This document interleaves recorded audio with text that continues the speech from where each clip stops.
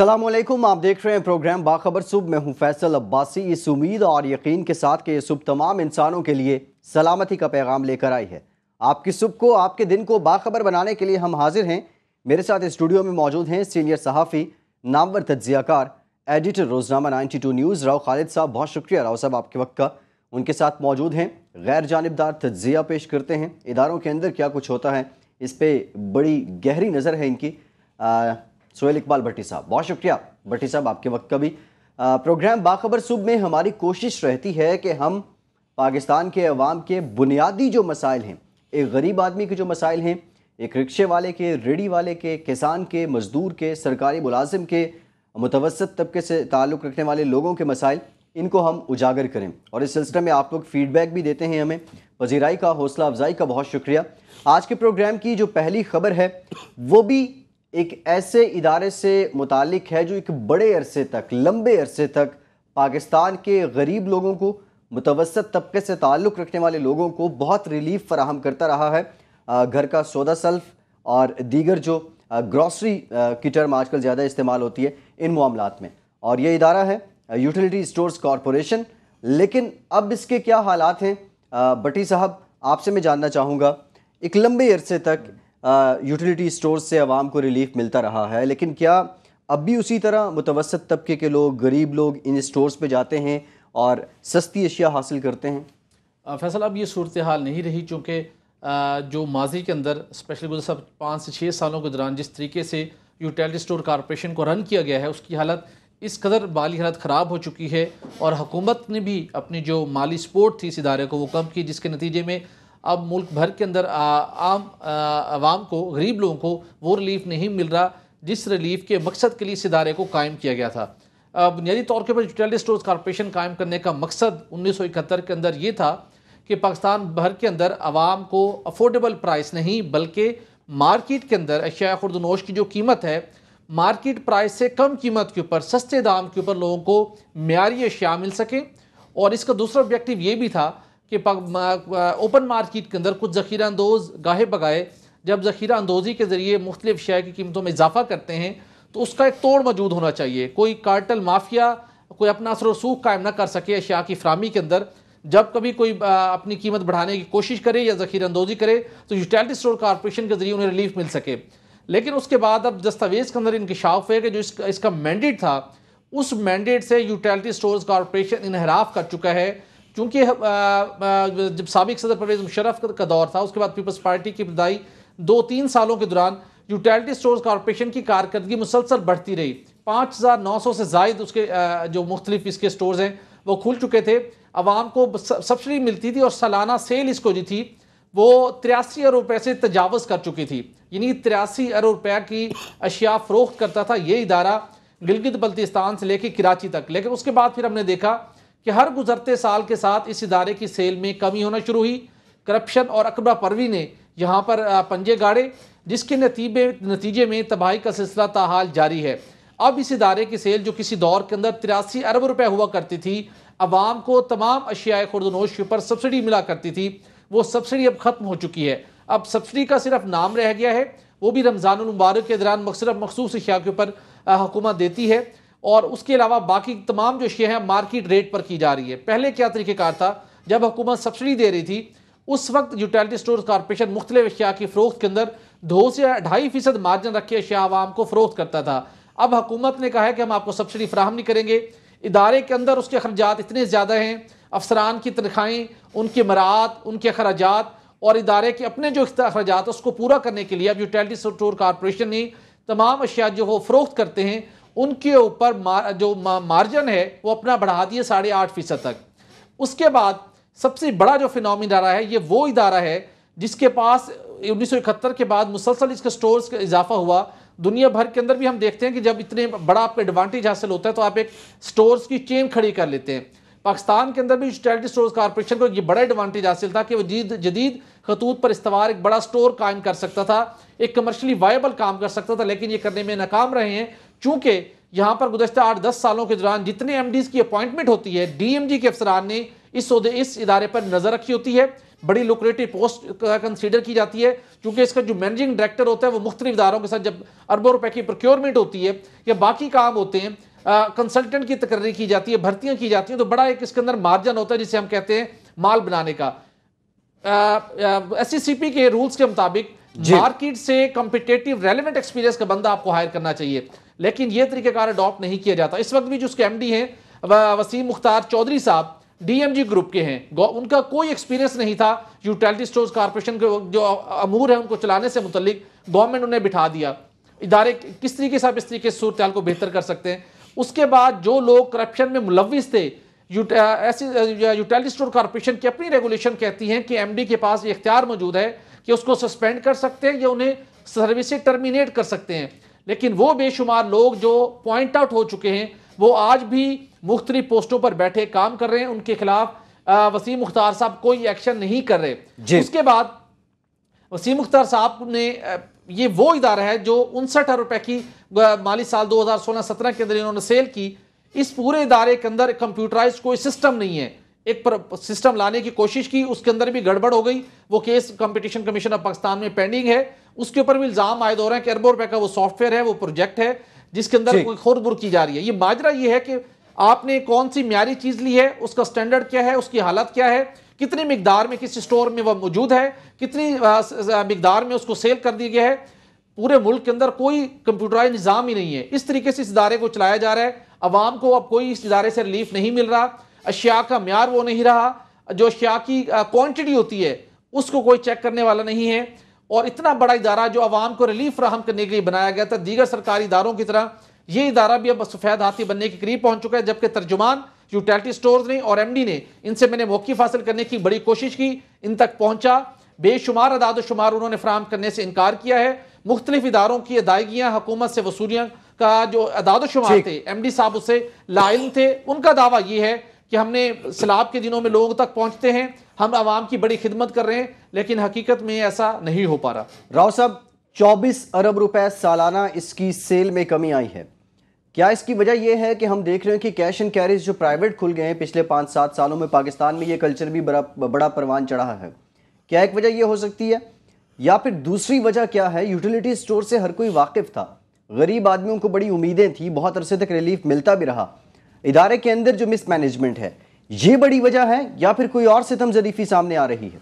یہ ادارے کی مس مینجمنٹ ہے آبویسلی ہم نے دیکھا بڑے بڑے ادارے پی آئی او اسٹیل مل ہو، اور اس قسم کے بڑے جتنے بڑے ادارے ہیں آپ کے جو آپ نے پرائیویٹائز کر دیے پرائیویٹ سیکٹر میں جا کے وہ ٹھیک چلنے شروع ہو جاتے ہیں۔ آپ کے پاس ہوتے ہیں تو وہ ان کی پرفارمنس ہی ٹھیک نہیں ہوتی۔ تو یہ بنیادی طور پہ مس مینجمنٹ ہے ٹوٹل مس مینجمنٹ ہے، اور کرپشن ایٹ دا کور اتنی میسو کرپشن ہوتی ہے، باقی اداروں میں بھی ہوتی ہے یوٹیلیٹی سٹورز میں تو آپ اندازہ ہی نہیں کر سکتے۔ کیونکہ اس میں ویسٹیج میں بہت ساری چیزیں چلی جاتی ہیں۔ کوالٹی کون سی لے رہے ہیں آپ کو پتہ نہیں ہے۔ ٹھیکیدار کے ساتھ مل کے وہ کس طرح سے اس کو چلا رہے ہوتے ہیں۔ اس کے پیرالل آرمی کے اندر سی ایس ٹی کا چل رہا ہے سلسلہ۔ وہ بڑی کامیابی سے چل رہا ہے اور وہاں پہ بڑی سبسیڈائز چیزیں ملتی ہیں۔ یہ یہ بھی اسی قسم کا تھا عام لوگوں کے لیے جو بجائی طور پہ کیا گیا تھا۔ بڑے چھوٹے شہروں تک یہ پھیل گیا تھا۔ اب یہ سکڑنا شروع ہو گیا۔ یہ جو بھٹی صاحب نے جیسے کہا، جو عام تاجر ہیں، ان ان کی چیرہ دستی سے بچانے کے لیے ایک اچھا انیشیٹو تھا۔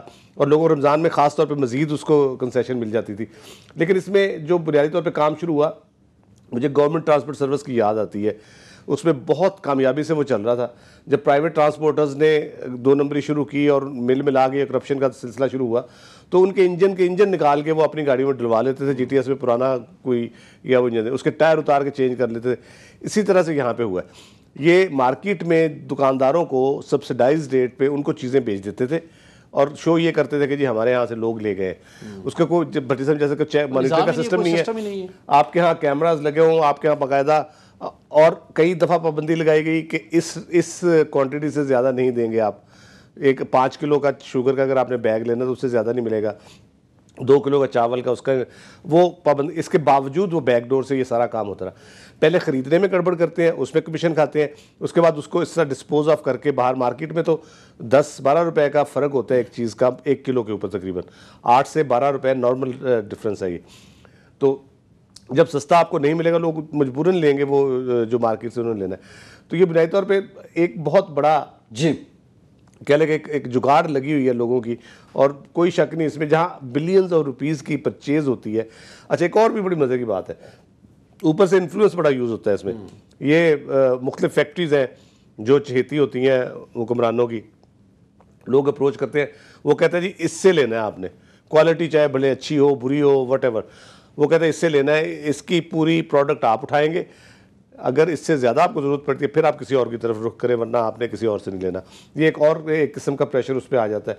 تو وہ اس قسم کی چیزوں سے اس کا بالکل ایک عام آدمی کی ضرورت کی چیزیں یا عام آدمی کی سہولت کی چیزیں جو ہیں، اس پہ ہم بار بار دیکھتے ہیں کہ گورنمنٹ جو ہے بالکل ہی خواب خرگوش کے مزے لے رہی ہے اس کو کوئی پرواہ نہیں ہے کہ عام آدمی کس تکلیف میں ہے؟ راؤ صاحب فیصل بہت امپورٹنٹ پوائنٹ ہے۔ اگر آپ نے اتفاق فاؤنڈری کا چیف ایگزیکٹو آفیسر اپوائنٹ کرنا ہو آپ کبھی اس شخص کو یہ ڈی ایم جی گروپ کے آفیسر کو جو گریڈ بیس کا آفیسر ہو کبھی آپ اپوائنٹ نہیں کریں گے۔ آپ مارکیٹ سے ریلیونٹ شعبے کے اندر ایکسپیرینس رکھنے والی شخصیت کو اپوائنٹ کریں گے۔ جو ٹیلٹ اسٹور کارپوریشن کی بات آتی تو وہاں سے آپ ایک ڈی ایم جی گروپ کے آفیسر کو اٹھا کے آپ اپوائنٹ کر دیتے ہیں جبکہ یوٹیلٹی اسٹور کا جنہیں ایک دن کا ایکسپیرینس نہیں ہوتا۔ یہ ایک بہت بڑا ڈراپ ہے کہ اس کی بٹی صاحب بدقسمتی یہ ہے کہ سرکاری ادارہ ہے اور سرکار ان اداروں کو آن نہیں کرتی ہے۔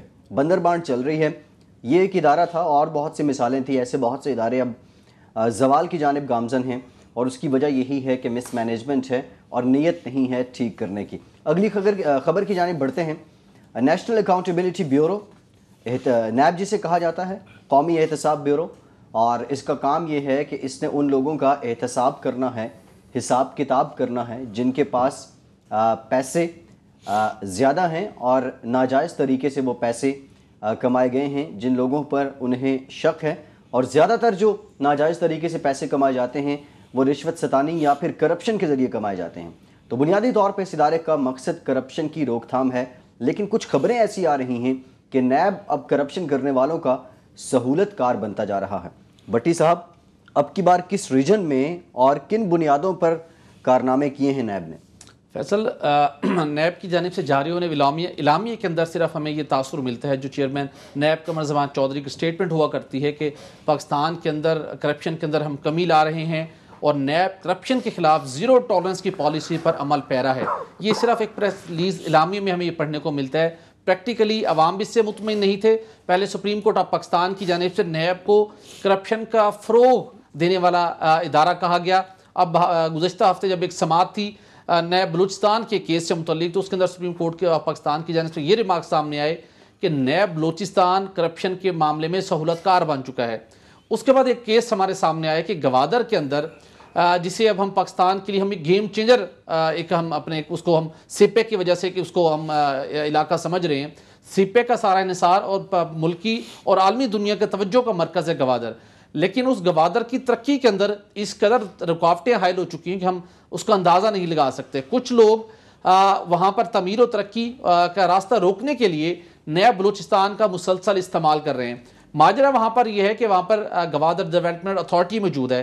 جب گوادر کے اندر آپ نے اس کو دنیا بھر کے اندر امپورٹ ایکسپورٹ کا آپ نے اس کو ذریعہ بنانے، وہاں سے ایک آپ نے بڑا چینل بن رہا ہے تو وہاں پر لازم ہے کہ وہاں پر گوادر کے اندر عالمی انویسٹرز بھی آئیں گے انٹرنیشنلی بھی، اور جو لوکل مختلف شعبوں کے اندر کام کرنے والے لوگ ہیں، وہاں پر اپنی صنعتیں بھی منتقل کریں گے، اور وہاں پر مختلف اپنے دفاتر بھی قائم کریں گے۔ جب یہ ساری ایکٹیویٹی ہوگی، تو یقیناً وہاں پر لوگوں کو رہائشی سہولیات بھی چاہیے، اور جو کہ وہاں پر نہیں ہیں۔ ہوا وہاں پر یہ کہ گوادر ڈیولپمنٹ اتھارٹی کی گزشتہ کئی سالوں سے ان کا ایک سسٹم موجود ہے۔ ان کے اپروول کے بعد وہاں پر ہاؤسنگ سوسائٹیاں قائم ہوئیں۔ اور نہ صرف ہاؤسنگ سوسائٹیاں رہائشی مقاصد کے لیے بلکہ صنعتی اور کمرشل زون بھی بنائے گئے۔ اس سلسلے کے اندر اب تک تقریباً سولہ ہزار ایکڑ سے زائد اراضی کے لیے گوادر ڈیولپمنٹ اتھارٹی کی جانب سے این او سی جاری کیا جا چکا ہے۔ ان تمام گروپس کو کہ وہ یہاں پر اراضی کو فروخت بھی کر سکتے ہیں۔ اور اس کو ڈیولپ کریں، اس کو اس کی تعمیر و ترقی کریں تاکہ لوگ یہاں پر کنسٹرکشن شروع کر سکیں۔ لیکن بدقسمتی سے گوادر کے اندر جیسے ہی کوئی تعمیر و ترقی کا کام شروع ہوتا ہے، تو وہاں پر کرپشن کی خبریں منظر عام پر آنا شروع ہو جاتی ہیں اور نیب کی جانب نیب ایکٹیو ہو جاتا ہے اور تاثر دنیا بھر کے ساتھ ساتھ پاکستان بھر کے اندر یہ تاثر دیا جاتا ہے کہ گوادر کے اندر تو تمام ہاؤسنگ سوسائٹیز کے اندر کرپشن ہے وہاں پہ تو کوئی درست کو ہاؤسنگ سوسائٹی ہے نہیں۔ تو الٹیمیٹلی وہ جو بائرز ہیں یا وہ لوگ جو وہاں پر اپنے کاروباری مقاصد کے لیے یا وہاں پہ ایک ٹریڈ ہب بننے کا جا رہا ہے اس کی وجہ سے وہاں پر انویسٹمنٹ کرنا چاہتے ہیں۔ وہاں پہ جا کے وہ تعمیرات کرنا چاہتے ہیں تو وہ خوف زدہ ہو جاتے ہیں۔ ایک غیر یقینی صورتحال پیدا ہو جاتی ہے۔ یہی صورتحال اس وقت وہاں پر بھی قائم ہے کیونکہ نیب جی۔ کوئٹہ کی جانب سے ریسنٹلی انہوں نے کچھ انکوائری شروع کی اور اس کے بعد انہوں نے ایک آگاہی مہم کے نام کے اوپر ایڈورٹیزمنٹ بھی جاری کیے۔ اور لوگوں سے کہا گیا کہ وہاں پر بہت زیادہ کرپشن ہے، آپ خبردار ہو کے رہیے۔ آپ نے وہاں جانے سے پہلے یہ کرنا ہے، آپ نے وہاں پہ جانے سے پہلے یہ کرنا ہے۔ جس کی وجہ سے وہاں پر جو کچھ عرصہ پہلے وہاں پر ریل اسٹیٹ کے شعبے میں کام ہوا تھا، وہ دوبارہ کام سارا ٹھپ ہو گئے اور انٹرسٹنگلی جو نیب کوئٹہ کی جانب سے، جو ان کے اسسٹنٹ ڈائریکٹر ہیں، جو جن کا نام عمیر احمد راٹھر ہے انہوں نے جو لیٹر جاری کیے ہیں، دو آفیسرز ہیں جو کہ صوبائی حکومت کے ہیں کمر مسعود صاحب اور حمید الکریم صاحب۔ ان کو گوادر کے اندر ایک کیس کی انکوائری کے اندر ان کو نوٹس سرو کی ہیں۔ اور ان کو کہا گیا کہ جی آپ نے تین ہزار ایک سو سڑسٹھ ایکڑ اراضی، وہ خلاف قانون آپ نے ٹرانسفر کرانے میں معاونت کی، آپ پر کرپشن کے الزام ہے تمام ریکارڈ لے کر آج انہیں بلایا گیا ہے نیب فوئٹا کے اندر۔ آپ پیش ہوں۔ اور جب آخری میں، آخری اس لیٹر کے آخری پیراگراف میں، آخری پیرے میں یہ بتایا گیا ہے کہ آپ نے تمام ریکارڈ لے کے آنا ہے۔ کہ جو کوئٹہ الیکٹرک سپلائی کمپنی کے اندر آپ نے غیر قانونی بھرتیاں کی ہیں ان کا آپ سے پوچھ کچھ کی جائے گی۔ اب یہ وہ نیب کوئٹہ کا لیٹر ہے جس کے بنیاد کے اوپر آپ نے پوری ہائپ کریٹ کی۔ میری گوادر ڈیولپمنٹ اتھارٹی کی کچھ لوگوں سے بات ہوئی وہ کہتے ہیں کہ ہم پورے پروسیجر کو مانیٹر کرتے ہیں۔ جن لوگوں کو این او سی افیکٹو ہوتا ہے وہی سے پلاٹس کی سیل پرچیز کر سکتے ہیں۔ لیکن نیب کوئٹہ سے ہمیں کوئٹہ سے بہت شکایت ہے ہم ان کا ہم نے انہیں کہا کہ آپ جس طریقے سے ماحول بنا دیتے ہیں پورا کام یہ بڑا بڑا جو لوگ اس کام میں ملوث ہیں صرف ان کے خلاف کاروائی کریں نہ کہ آپ اوورال ایک پورا ایک فنومنا کریٹ کر دیتے ہیں جس سے پورا نظام متاثر ہو رہا ہے۔ ٹھیک۔ راؤ صاحب یہ بڑا سگنیفیکنٹ ہے جس طرح کا ماحول بنا دیا گیا ہے گوادر کو ہم گیم چینجر کہہ رہے ہیں۔ ایسے تو نہ وہاں کوئی رہنے جائے گا نہ کوئی سرمایہ کار آئے گا۔ یہ نیب کی پکڑ دکڑ کرنے والا کیا کوئی نہیں ہے؟ دیکھیں پنجابی کی مثال ہے کہ پنڈ بجا نہیں اچکے پہلے آ گئے۔ کہ ابھی گاؤں آباد نہیں ہوا تو لوٹ مار کرنے والے پہلے پہنچ گئے۔ تو مجھے تو یہ اس قسم کی سین نظر آ رہا ہے۔ اس میں کوئی شک نہیں کہ ہمارے ہاں جو ہاؤسنگ سیکٹر میں جس طرح اسکیمیں بنی، جس طرح فراڈ ہوئے، جس طرح سے ہوتے چلے جا رہے ہیں، ابھی بھی اسلام آباد پنڈی کے ارد گرد آپ دیکھیں، فائلوں پہ چل رہا ہے کام سارا۔ یہ اپنی جگہ پہ، لیکن متعلقہ اتھارٹیز ہیں جو، جنہوں نے ان کو این او سی دینا ہے یا کام کرنا ہے ان کا۔ اگر کوئی کمپلینٹ آتی ہے، اس کے بعد نیب کا کام ہے کہ وہ ایکٹیو ہو۔ یہ پریکاشنری میئرز اگر نیب لینا شروع کر دے اویئرنیس کمپین کی حد تک بھی ٹھیک ہے۔ لیکن یہ پریکاشنری میئرز اس قسم کے کہ آپ ان کو زمین کی کہہ رہے ہیں کہ آپ نے غلط آپ نے پرچیز کی ہے یا اس میں کوئی ہیرا پھیری کی ہے، اس کے بعد آپ کہتے ہیں جی اپنا محکمہ بجلی میں بھرتیوں کا حساب بھی دیں آ کے۔ تو یہ عجیب و غریب قسم کا کوئی مجھے پرسنل کوئی ونڈکٹیونیس لگتی ہے اس میں۔ دیکھنا ضرور چاہیے ان میں ویجیلنٹ بھی رہنا چاہیے۔ لوگوں کے، بہت سے لوگوں کے پیسے ڈوبے بھی ہیں۔ عام آدمی جلدی بیوقوف بن جاتا ہے، جمع پونجی لوگوں کی لٹ جاتی ہے اس میں۔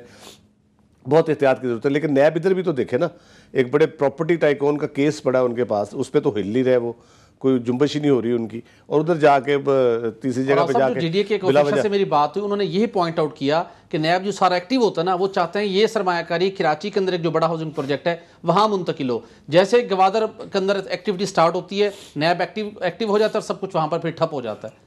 تو وہی وہی صاحب ہے نا جن کا کیس پڑا ہے نیب کے پاس انہیں کی وہی انویسٹمنٹ کرانا چاہتے ہیں نا۔ وہ چاہتے ہیں تو ان صاحب کو دے دیں ادھر بلوچستان والے ان سے ڈیل کر لیں جیسے زرداری صاحب نے کی ان کے بڑے دوست ہیں وہاں ڈیل کر کے ان کو وہاں پہ دے دیں وہ وہاں پہ جا کے بنانا شروع کر دیں۔ چالیس ہزار پلاٹ اناؤنس کیے تھے انہوں نے اسلام آباد میں ایک اسکیم کے۔ چالیس ہزار اسلام آباد کے ابھی جتنا ڈیولپ ہو چکا ہے نا اس کے گھر نہیں ہے چالیس ہزار۔ اس اس سے چوتھائی جگہ بھی نہیں تھی ان کے پاس۔ کوئی پوچھنے والے نہیں ہے کہ آپ نے چالیس ہزار گھر کہاں پہ اناؤنس کر دیا بھائی؟ جگہ تو آپ کے پاس ہے نہیں۔ وہ فائلیں بیچیں پھر واپس لیں۔ جی۔ اس طرح فراڈ کر کے اربوں خربوں روپے کے وہ کر جاتے ہیں اس کے بعد ٹیکس بھی نہیں دیتے۔ مزے کی بات یہ انٹرنل ٹرانسفرز ہوتی ہیں کوئی ٹیکس نہیں ہوتا۔ اگر پوچھتے ہیں کوئی تو اوپر سے پھر ڈنڈا آ جاتا ہے کہ نہیں جی یہ ان صاحب کے بارے میں کوئی بات نہیں کرنی ہے آپ نے۔ تو اس طرح کے لوگوں سے ضرور احتیاط کرنی چاہیے۔ لیکن گوادر میں اگر اتھارٹیز ہیں کنسرن اتھارٹیز کام کر رہی ہیں تو نیب کو بلا وجہ مداخلت نہیں کرنی چاہیے۔ انٹر کو سیریس کمپلینٹ نہ ہو وہاں پہ۔ ٹھیک ٹھیک۔ ترجمان نیب کا پوائنٹ ضرور ایڈ کرنا چاہوں گا۔ جو من سے ہم نے ورژن لیا تھا وہ کہتا تھا کہ ہم عوام کے مفاد کے پیش نظر ہم ایکٹیو ہیں اور ہمارا کام مقصد یہ ہے کہ وہاں پر کوئی فراڈ نہ ہو سکے۔ لیکن یہ ہم کوشش کریں گے کہ جو جو ہمیں کمپلینٹ ملے اور اس کے اوپر ریلیونٹ لوگوں کے خلاف کاروائی بٹ صاحب یہ تو وہی پارلیمانی پارلیمانی باتیں پارلیمانی انداز ہے اور رسمی باتیں جو ہم کئی عرصے سے پڑھتے بھی آ رہے ہیں اور سنتے بھی آ رہے ہیں۔ لیکن نیب کو اپنا کردار پازیٹیولی آگے بڑھانا ہوگا، نہ کہ عوام کو تنگ کر کے۔ ایک اور خبر ہے جی یہ بھی قومی اداروں سے متعلق ہے۔ یہ حکومت جب آئی تو اس حکومت نے اداروں کی نچکاری یعنی پرائیویٹائزیشن کو لے کر بہت شور ڈالا، جس پہ اپوزیشن نے تحفظات کا بھی اظہار کیا، پھر بہت سے معاملات پہ اپوزیشن کو منا بھی لیا گیا۔ گاہے بگاہے اپوزیشن کے رہنما اپوزیشن جماعتوں کے رہنما ابھی بھی کوئی نہ کوئی نجکاری کے خلاف بیان دے دیتے ہیں۔ اب پھر سے نجکاری پروگرام کو بحال کر دیا گیا ہے۔ لیکن بھٹی صاحب، اس سے پہلے ہم نے جتنی چھان بین کی تھی اس میں تو ان اداروں کی نچکاری کی گئی جو منافع بخش تھے اور جو کمزور ادارے تھے، جو نقصان دے رہے تھے ان کو تو چھیڑا ہی نہیں گیا۔ اب جو نیا پلان آ رہا ہے، اس میں کیا کچھ ہے؟ فیصل، بنیادی طور پر پاکستان کے اندر سرکاری وہ ادارے جو گورنمنٹ سمجھتی ہے کہ ہمارے لیے برڈن بن رہے ہیں انہیں پرائیویٹائز کر کے ان شعبوں کے اندر مزید اصلاحات نہ لانے کے نام کے اوپر نجکاری کا پروگرام انیس سو اکانوے سے جاری ہے۔ لیکن موجودہ دور حکومت کے اندر جب مسلم لیگ نون اقتدار سنبھالا، تو یہ قوم کو بتایا گیا کہ ہم اس طریقے سے نجکاری کریں گے کہ ہم ایک ایسا کمبینیشن ایک ایسا پیکج بنا رہے ہیں کہ پاکستان کے اندر چلنے اور خسارے کے اندر چلنے والے وہ تمام ادارے، ان کی ایک لسٹ بنائی گئی ہے اور منافع کے اندر چلنے والے اداروں کی بھی۔ اور اس طریقے سے نجکاری ہوگی۔ کہ ایک ادارہ جو منافع میں چل رہا ہے، اس کو پرائیویٹائز کیا جائے گا اور اس کے ساتھ ہی ایک خسارے کے اندر چلنے والے ادارے کی بھی پرائیویٹائزیشن کی جائے گی۔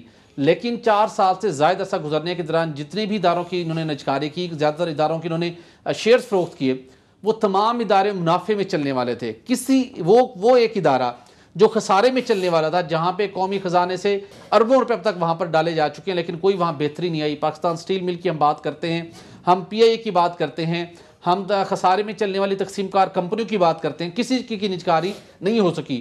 منافع میں چلنے والے ادارے، H B L allied bank, O G D C L, P P L, ان کی ہم نے شیئر فروخت کیے اور زیادہ تر خریداری ان شیئر کی کس کس ادارے نے کی؟ سعودی عرب کے کمپنی نے کی۔ وہ ایک معاملہ ایک طرف لیکن اس کے بعد ہم دیکھتے ہیں کہ جب محمد زبیر صاحب گورنر سندھ بنے، اس کے بعد یہ سارا کام رک گیا اور لگتا تھا کہ شاید اب مسلم لیگ نون دوبارہ نجکاری کی جانب نہیں بڑھے گی۔ لیکن جب دوبارہ باقی چار سنبھالا ہے وزارت عظما وزارت وزیر، وزارت کا قلم دان ملا ہے دانیال عزیز صاحب کو۔ انہوں نے اڑھائی تین سال بڑی محنت کی جس طریقے سے ڈیفینڈ کرتے رہے۔ انہوں نے آگے اچانک اس پروگرام کو ایکٹیو کیا ہے۔ اب چونکہ نجکاری کی جو کبینہ کمیٹی اس کے پرائم منسٹر جو اس کے چیئرمین ہیں، وہ پرائم منسٹر خود ہیں۔ دانیل عزیز صاحب کے مطابق کہ انہوں نے سمری پرائم منسٹر کو ارسال کر دی ہے کہ نجکاری کی جو کبینہ کی کمیٹی ہے اس کا اجلاس بلایا جائے۔ سولہ ادارے وہ کہتے ہیں ہمارے پاس تیار ہیں جس کے اندر وابڈا کی تقسیم کار کمپنیاں موجود ہیں۔ جی۔ بجلی پیدا کرنے والی سرکاری کمپنیاں موجود ہیں پی اے شامل ہے پاکستان سٹیل مل شامل ہے۔ وہ کہتے ہیں جی کہ ہم بس ان کی بڑے ایکٹیو ہیں اور ہم ان کی نجکاری کرنا چاہتے ہیں اور ہم بس شارٹر ٹائم کے اندر جیسے کمیٹی سے اپروول ملے گی ہم کر لیں گے۔ یہ ہونی بالکل نہیں ہے۔ آگے ان کا جو دیکھ رہے ہیں یہ الیکشن یہ رہا جس طریقے کے آگے حالات ڈیولپ ہو رہے ہیں۔ کرنا یہ کیا چاہتے ہیں دانیال عزیز صاحب؟ دانیال عزیز صاحب کنسلٹنسی کے مندر اور مختلف جو وہ کمپنی جو کنسلٹنسی فراہم کرتے ہیں ان کے ساتھ بڑے ویل کنیکٹڈ ہیں۔ اور اس چیزوں کے اوپر وہ بلیو بھی بہت رکھتے ہیں کرتے ہیں۔ خود بھی بہت کنسلٹنسی خود بھی بہت کرتے رہے۔ اب انہوں نے کرنا کیا ہے؟ وہاں سے اپروول حاصل کرنی ہے۔ یہ کسی ادارے کی چار سال کے اندر پرائیویٹائزیشن کر نہیں سکے جو اس کا اصل آبجیکٹو تھا۔ یہ کنسلٹنٹ ہائر کیے جائیں گے ایڈورٹیزمنٹس دی جائیں گی۔ بھاری بھاری پیکیجز کے اوپر ان کو پے کیا جائے گا۔ وہ ان کے ایڈوائزر ٹرانزیکشن کے ایڈوائزر مقرر ہوں گے۔ اس کے بعد پتہ چلے گا کہ جناب ٹائم پورا ہو گیا فی الوقت ہو نہیں سکتی آئندہ جو حکومت آئے گی وہ ان سارے معاملات کو دیکھے گی۔ چار سال کے اندر آپ کر نہیں پائے۔ ان کو چاہیے گا دان عزیز صاحب واقع کچھ کرنا چاہتے ہیں پاکستان سٹیل مل ان کے سامنے موجود ہے پی آئی اے موجود ہے۔ ان کا آپ اگر کچھ کر کے دکھا سکتے ہیں آپ کیجیے۔ لیکن جی۔ ماجرہ کیا ہے؟ Faisalabad electric supply company Lahore electric supply company اور اسلام آباد الیکٹرک سپلائی کمپنی یہ تین وہ کمپنی ہیں جن کے اوپر نواز شریف صاحب کے بہت قریبی دوست جن کا پاور سیکٹر کے اندر بھی ایکسپوئر ہے جن کا ایکسپوئر ٹیکسٹائل سیکٹر کے اندر ہے۔ انہوں نے ان کے اوپر نظریں جمائی ہوئی ہیں اور وہ پہلے ان کا ارادہ تھا پوری ایک فیس کو خریدنے کا۔ اب وہ خرید نہیں سکتے۔ وہ ان تینوں کمپنیوں کے حصے خریدنا چاہتے ہیں شیئر خریدنا چاہتے تو کہ یہ پاکستان کی تینوں کمپنیاں پروفیٹیبل ہیں۔ اصل آبجیکٹو یہ ہے۔ میرے خیال میں ان کو انڈیویجول کا جو مفادات ہیں ان کو سرو نہیں کرنا چاہیے۔ قومی خزانے کے اوپر نام کے ساتھ قومی خزانے کو پہلے بھی بہت نقصان پہنچا ہے نجکاری کے نام کے اوپر۔ ہم نے اب تک تقریباً ایک سو بہتر ٹرانزیکشن کی ہیں چھ سو اڑتالیس روپے کی۔ لیکن قومی خزانے کو فائدہ نہیں ہوا۔ جن کمپنیوں نے آ کے منافع میں چلنے والے اداروں خریدا ہے وہ بہت اربوں روپے کما کے باہر لے جا رہی ہیں۔ راؤ صاحب ایک تو دانیال عزیز صاحب وزیر بن گئے ہیں اور اس کے بعد وہ میڈیا ٹاکس اور وہ پریس کانفرنسز کا زور بھی کم ہے۔ میں کل ہی اس معاملے پہ سوچ رہا تھا۔ خیر دوسرا میں آپ سے یہ جاننا چاہوں گا یہ نچکاری پرائیویٹائزیشن کوئی بھی حکومتی جماعت ہو، اس کے لیے ایک سٹنڈ کی حد تک کیوں محدود رہتا ہے؟ اس کو پراپرلی کیا کیوں نہیں جاتا؟ اور جو جماعت حکومت میں ہوتی ہے، وہ نجکاری کرنا چاہ رہی ہوتی ہے جب وہی جماعت اپوزیشن میں آتی ہے، تو وہ نجکاری کے خلاف ہو جاتی ہے۔ یہ کب تک سٹنڈ کے طور پہ استعمال کیا جاتا رہے گا؟ دیکھیں، سب سے بڑا سٹنٹ تو میاں صاحب نے کیا تھا جب انہوں نے کہا کہ جی ہم اس سے اس کی ساری پروسیڈز جو ہے، وہ قرض اتارنے پہ لگائیں گے۔ ہم ملک کے اوپر جو بالکل ہم، پھر قرض اتارو، ملک سوارو ایک اسکیم انہوں نے شروع کی تھی۔ ادھر سے اللہ لوگوں سے پیسے اکٹھے کیے۔ اس کے ذریعے، لیکن کچھ نہیں ہوا۔ اس کی کوئی پروسیڈ اس کے اتارنے میں نہیں گئی۔ اور پتہ ہی نہیں ہے کہاں جاتی ہیں، اس کی پروسیڈز جو آتی ہیں، وہ کس طرف چلی جاتی ہے اور پورا عمل جتنا بھی ہوا ہے اب تک، سوائے دوستوں کو نوازنے کے، اس کو کبھی بھی شفافیت سے یہ پورا پروسیس نہیں کیا گیا۔ جہاں تک دانیال عزیز صاحب کی بات ہے کنسلٹنسی کس چیز کی کریں گے؟ یہ سارے اداروں کی اسیسمنٹ وغیرہ ان کے شیئرز کے حوالے سے ان کے فلوٹ کرنے کے حوالے سے سارا کچھ کام ہوا پڑا ہے اور آج سے نہیں دس پندرہ بیس سالوں سے مسلسل ہوئے جا رہا ہے کچھ ابھی زبیر صاحب نے جی۔ کیا ہوگا تھوڑا بہت۔ تو یہ کوئی اتنا کوئی نئی چیز نہیں ہے اس پہ ذرا اس پہ ذرا میں تفصیلی آپ سے نقطہ نظر لوں گا۔ ایک بریک کا کہا جا رہا ہے۔ بریک کے بعد جب ہم لوٹ کرائیں گے تو نچکاری کے معاملے سے ہی بات کریں گے اور کچھ دیگر معاملات پہ بھی ہم پروگرام میں گفتگو کریں گے۔ ہمارے ساتھ رہیے۔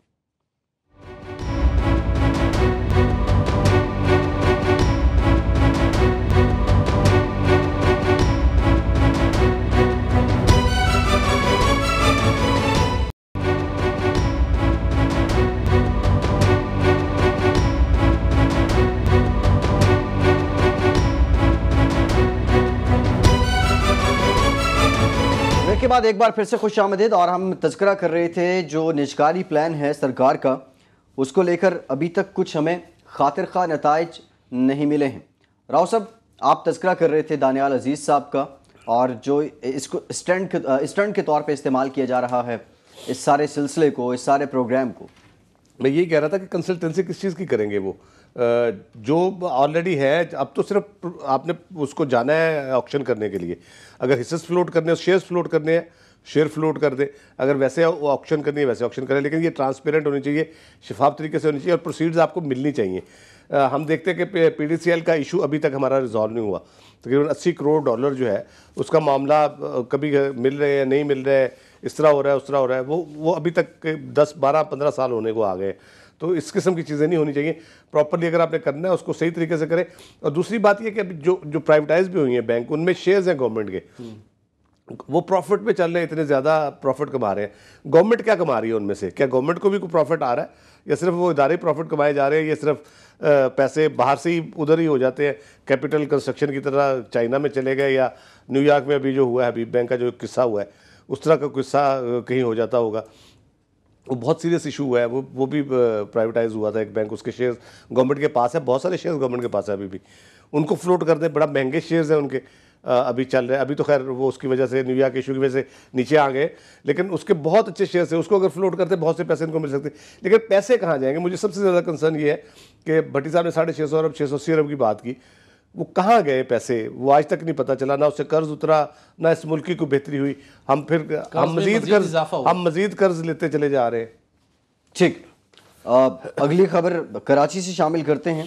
اور کراچی کے عوام کا کوئی پرسان حال نہیں ہے۔ پانی بھی ایک بڑا مسئلہ ہے کراچی میں لیکن بدقسمتی یہ ہے کہ کراچی کے اندر جو اپوزیشن کی سیاسی جماعتیں ہیں وہ عوام کے بنیادی مسائل کو لے کر ہمیں احتجاج کرتی نظر نہیں آتی۔ پانی کے معاملے پر جماعت اسلامی نے کئی سالوں سے احتجاج نہیں کیا۔ پی ٹی آئی نے پچھلے پانچ سالوں میں ایک احتجاج کیا ہے اور حکومت بھی ٹس سے مس نہیں ہو رہی، وہ بھی اپنے مزے میں ہے، خواب خرگوش کے مزے لیے جا رہے ہیں۔ لیکن اب کی بار ٹینکرز مافیا کی جانب سے مصنوعی پانی کا بحران پیدا کر دیا گیا ہے اور کراچی کے بہت سے علاقے ہیں جن میں لیاری ہے، لانڈی ہے، کورنگی ہے، شاہ فیصل ہے، سرجانی ٹاؤن ہے، نیو کراچی ہے۔ یہاں پہ لوگ پانی کی بوند بوند کو ترس رہے ہیں۔ غیر قانونی ہائیڈرنٹسوں کراچی کے اندر جو واٹر بورڈ ہے، اس کی کارکردگی کا تذکرہ کر لیا جائے، قانونی ہائیڈرنٹس کی بات کر لی جائے، لیکن ایٹ دا اینڈ عوام کو ریلیف نہیں مل رہا۔ راؤ صاحب، مہنگے داموں کراچی کے عوام پانی خریدنے پر مجبور ہیں۔ اور ایک مرتبہ پھر سے یہ مصنوعی بحران ہے۔ یہ مصنوعی بحران ٹینکرز مافیا تو ہو گئے غیر قانونی ہائیڈرنٹس والے تو ہو گئے، لیکن اس کے علاوہ اور کون کون ہوتا ہے اس کو بنانے میں؟ دیکھیں، اس میں بہت سارا پیسہ انوالو ہے، اربوں روپے انوالو ہیں اس میں مہینے کے، جو بنائی طور پہ اس میں ملتے ہیں جو بیٹھے ہیں، اوپر واٹر بورڈ کے ہیں یا اوپر منسٹرز تک، شاید چیف منسٹرز کے پاس بھی کچھ جاتا ہو یقین سے نہیں کہہ سکتے۔ لیکن اس میں بہت بڑا مافیا ہے ایک پورا، جو یہ پورا انلیگل ہائیڈرنٹس ہے سپریم کورٹ کے آرڈر ہے آج تک عمل نہیں ہوا انلیگل ہائیڈرنٹس کو ختم کرنے کا۔ جو پانی کی بنیادی وجہ جو ہے، ایک تو اوور آل کمی ہے، جو سپلائی کراچی کی ہونی چاہیے، اس طرح سپلائی نہیں آ رہی۔ دوسرا یہ ایشو ہے کہ یہ انلیگل ہائیڈرنٹس جو بنے ہوئے ہیں، وہ انلیگل ہائیڈرنٹس بنے ہوئے ہیں اسی سپلائی لائن کے اوپر۔ یہ نہیں ہے کہ کسی نے بور کر کے نکالا ہوا، وہ جو نارمل سپلائی آ رہی ہے شہر کو، اس کے اوپر بنے ہوئے ہیں۔ وہ ظاہر پانی بہت سا وہ نکال لیتے ہیں۔ پھر تیسری سب سے بڑی وجہ یہ ہے کہ وہاں پانی کی شارٹیج کی وجہ سے جو بڑے بڑے پرائیویٹ انڈسٹریز ہیں اور بڑے کمرشل جو وینچرز ہیں وہاں پہ بلڈنگز ہیں، وہ تگڑے لوگ ہیں، وہ زیادہ پیسے دے کے ٹینکرز کو وہ لے لیتے ہیں۔ تو وہ جس جس پرائز پہ وہاں بکتا ہے ٹینکر وہ غریب آدمی کو تو دینے کو تیار نہیں ہے اس پہ کوئی بھی۔ اس لیے وہ، اس وجہ سے وہ افورڈیبل نہیں رہتا ان کے لیے۔ اگر وہ لینا بھی چاہیں وہ اگر تین ہزار، چار ہزار یا پانچ ہزار کا ٹینکر لے رہے ہیں، بڑے ادارے، تو غریب آدمی تو نہیں لے سکتا۔ پورا محلہ پیسے ڈال کے، اگر کوئی سو سو، دو دو سو روپے ڈال کے ایک ٹینکر لے بھی لے، تو وہ کتنے دن چلے گا؟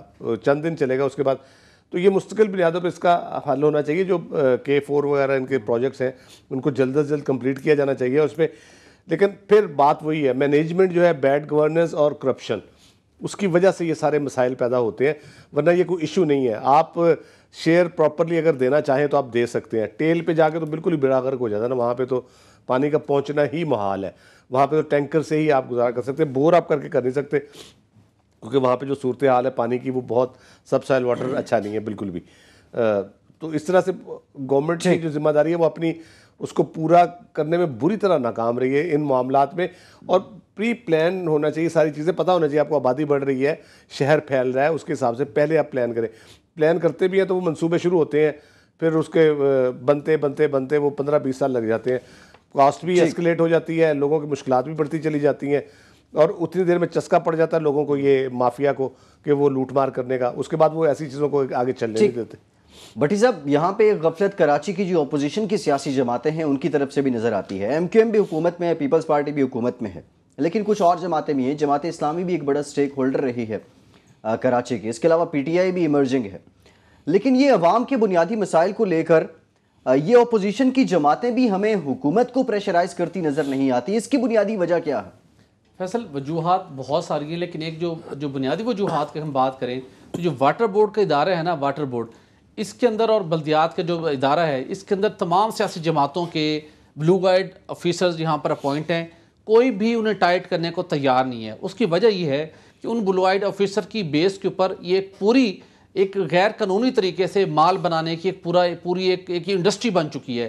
اور ایک مرتبہ مجھے خود میں نے ایک انٹرویو کے اندر ایم ڈی واٹر بورڈ کو یہ کہتے ہوئے سنا انہوں نے کہا کہ جو آئل ٹینکرز مافیا ہے اور غیر قانونی ہائیڈرنٹس کے ذریعے جس طریقے سے پانی چوری کر کے فروخت کیا جاتا ہے، یومیہ بنیادوں کے اوپر پانچ سے آٹھ کروڑ روپے کی اس کی آمدن ہے۔ اب وہ تمام لوگ جنہوں نے اس کرائسس کے اندر لوگوں کی مجبوری سے نجائز فائدہ اٹھاتے ہوئے، جو اس پوری، پورا اس کو ایک غیر قانونی صنعت کا درجہ دے دیا ہے اور یومی بنیادوں کے اوپر کچھ انڈسٹری ہوتی ہے کام ہوتے ہیں اب چیزیں تیار کرتی ہیں پروسیسنگ کا ٹائم ہوتا ہے، پھر فروخت کرتے ہیں، پھر پیسہ آتا ہے۔ یہ آپ یومی بنیادوں کے اوپر آپ لوگوں سے کلیکٹ کرتے ہیں۔ تو اس کو آپ کیسے روکیں گے؟ یہ بہت سمپل سا ہے۔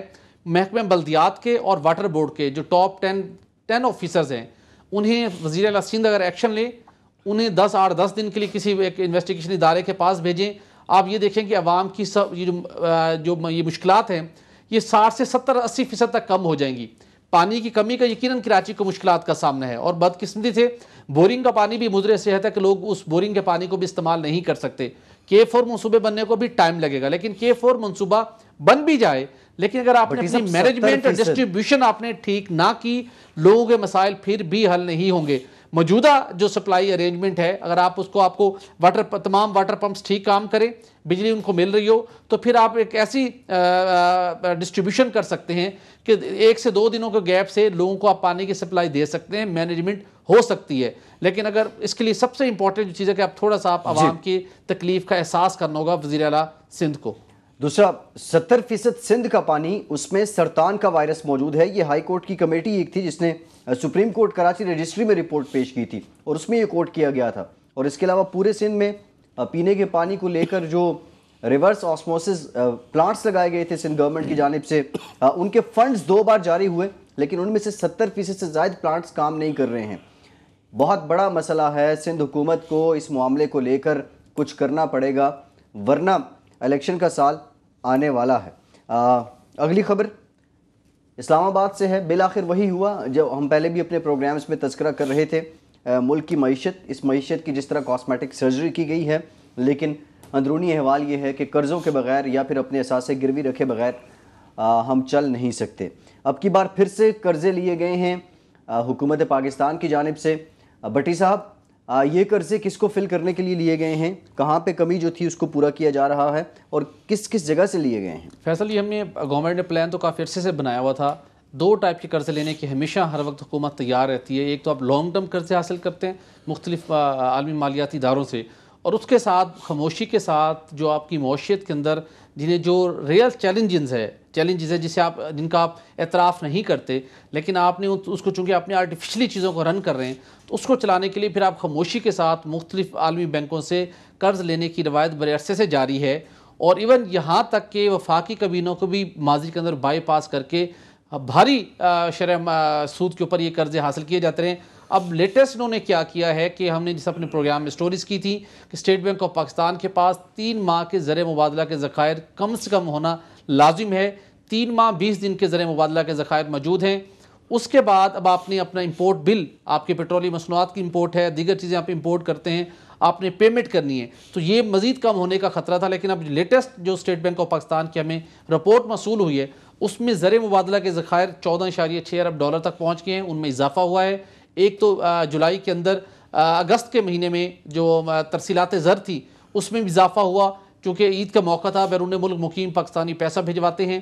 اس کے ساتھ ساتھ انہوں نے کیا کیا ہے کہ سٹی بینک سے ایک سو ترپن ملین ڈالر اور اسلامک ڈیولپمنٹ بینک سے ستر ملین ڈالر کا قرض حاصل کیا ہے انتہائی خاموشی کے ساتھ۔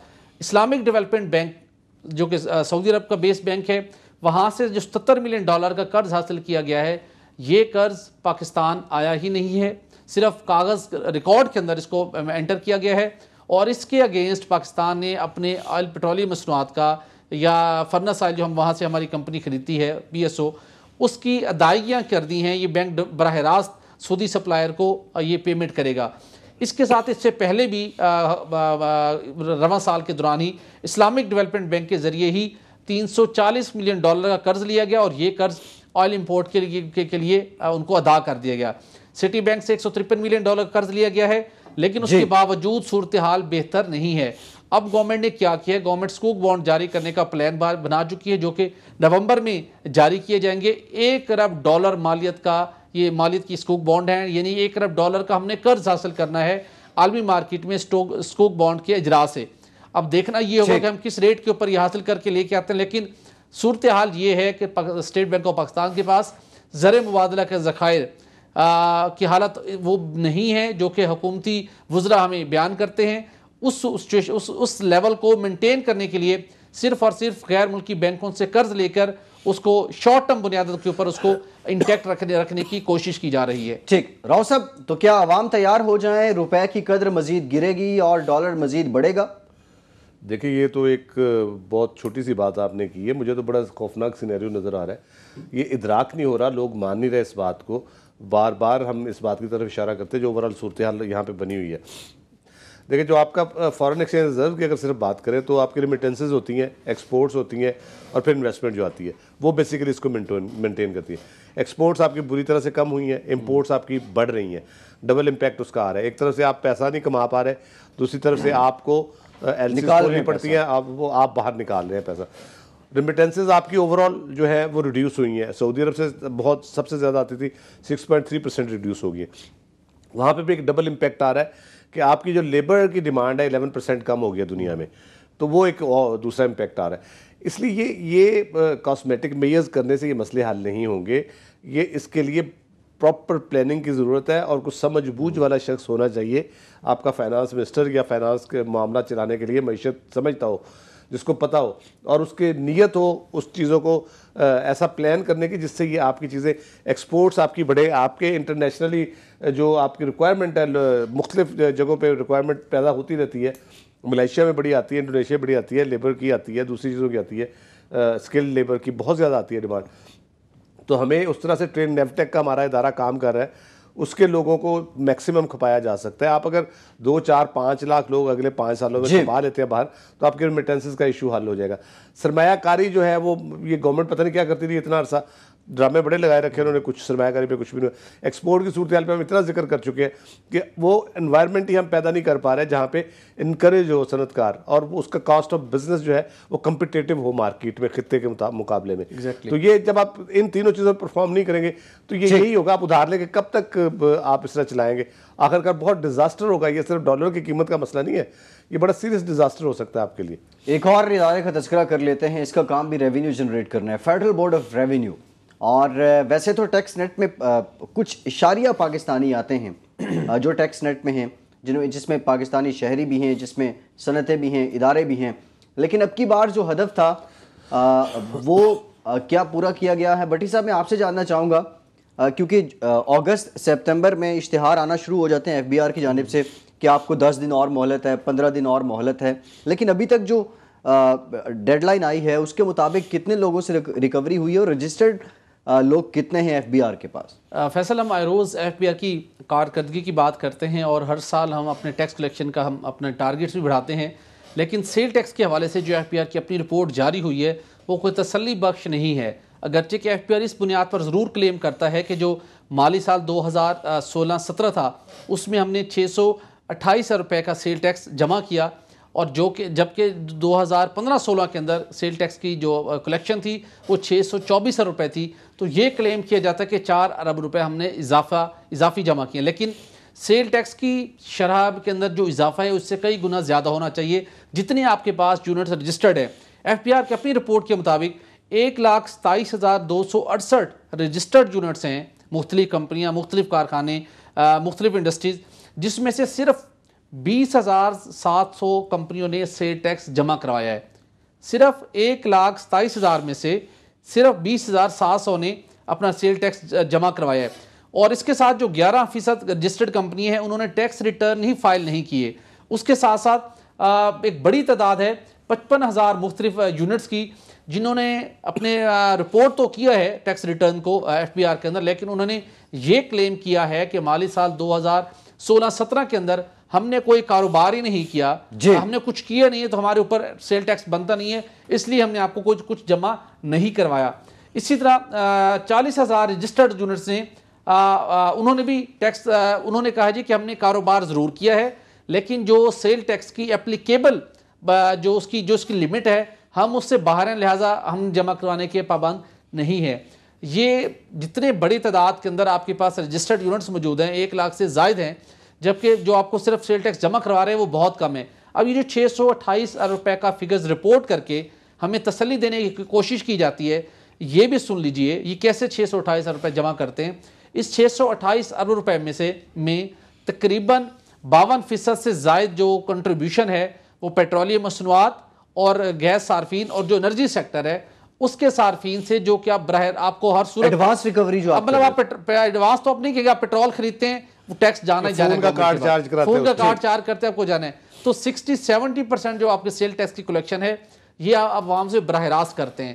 اب وہ باقی شعبے جو مختلف شعبے ہیں مختلف یونٹس ہیں وہاں پر ریجنل ٹیکس یونٹس جو ہیں جو آپ کے آفیسر ہیں وہ کیا کام کر رہے ہیں؟ وہ کس طریقے سے مانیٹرنگ کر رہے ہیں کہ اگر ایک لاکھ ستائیس ہزار یونٹس رجسٹرڈ ہیں اور اس میں سے صرف بیس ہزار کچھ لوگ اس کا سیل ٹیکس جمع کروا رہے ہیں چھ سو اٹھائیس ارب روپے کو فگر کو ایک سائڈ پہ رکھے ایف بی آر کو اپنے سیل ٹیکس لا کے مطابق اس کی امپلیمنٹیشن کو انٹیکٹ کرنا چاہیے اور ریجنل ٹیکس جو یونٹس ہیں ان کے ذریعے اس بات کی انکوائری کروانی چاہیے کہ جو لوگ رجسٹرڈ ضرور ہیں جی۔ لیکن وہ کیسے یہ کلیم کرتے ہیں؟ کچھ کہتے ہیں کہ ہم نے کاروبار نہیں کیا جنہوں نے کاروبار کیا ہے وہ کہتے ہیں کہ ہم اس لیمٹ میں نہیں جاتے کہ ہم آپ کو سیل ٹیکس جمع کروائیں۔ اس چیز کی ان کو تحقیقات کروانے کی ضرورت ہے۔ راؤ صاحب، آپ سے میں جاننا چاہوں گا، یہ سیلز ٹیکس میں موسٹلی انڈائریکٹ ٹیکس ہوتا ہے اور عوام اس سے شاید باخبر بھی نہیں ہوتے اور وہ ادا کر دیتے ہیں۔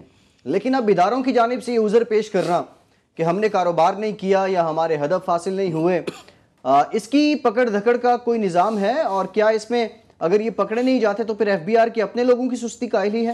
یہ خالصتاً بدنیتی ہے ان کی۔ یہ اگر نہیں کر رہے، ایک لاکھ چھ ہزار کم از کم کمپنیز ہیں۔ جن سے سیل ٹیکس انہوں نے نہیں لیا انہوں نے کوئی بھی بہانہ بنایا ہو بھلے۔ ایک بڑا سمپل سا طریقہ ہے۔ آپ جو بھی کمپنی اپنی پروڈکٹ بنا رہی ہے انڈیا والے وہ اس طرح سے کرتے ہیں بالکل۔ آپ کلیم کرتے ہیں میں نے میرا اس لمٹ پہ نہیں آتا یا میں نے اس دفعہ کاروبار نہیں کیا۔